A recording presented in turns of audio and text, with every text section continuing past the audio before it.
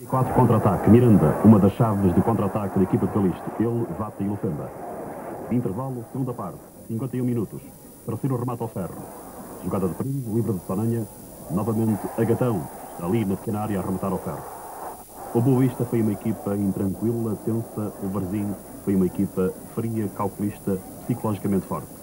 Bom trabalho de Fortunato Azevedo, equipa de arbitragem de Braga.